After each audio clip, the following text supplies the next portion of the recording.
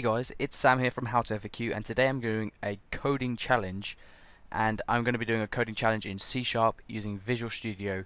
So let's get started. I'm actually going to be making a calculator, an arithmetic calculator and I'm going to see how fast I can make it. Time limit is 10 minutes. Let's see how fast I can do it. Right, I'm going to start the timer as soon as I've made the project. Um,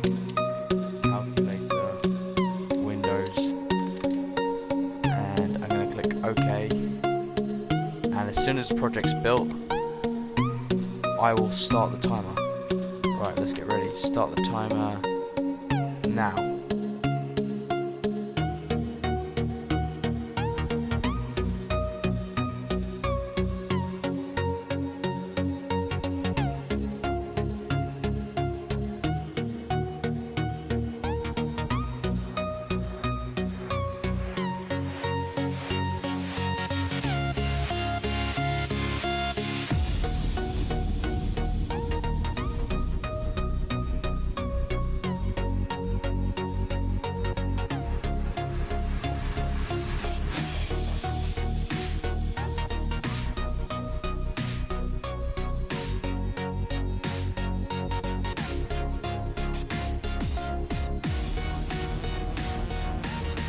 Okay, I believe that is time. Let's see what I've made. Let's see if it works.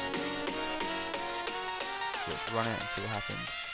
Okay, so 7 plus 7 equals 14. That's good. Divide by 3. Basically, guys, this is my calculator I made in under 10 minutes. I made it just, I just reached the limit this. Exactly 10 minutes took me to make this calculator.